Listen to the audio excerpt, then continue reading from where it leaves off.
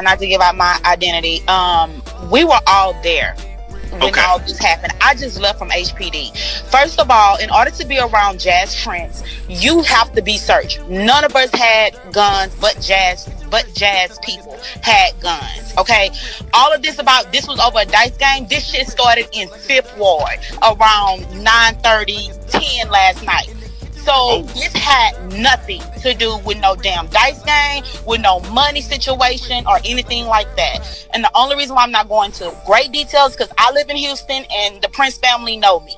But all of this shit that they're saying about, oh, well, this was a sacrifice. No, this was a argument between two camps, and it wasn't even between two camps because Takeoff and Quavo was basically trying to be the mediator between the people who were arguing.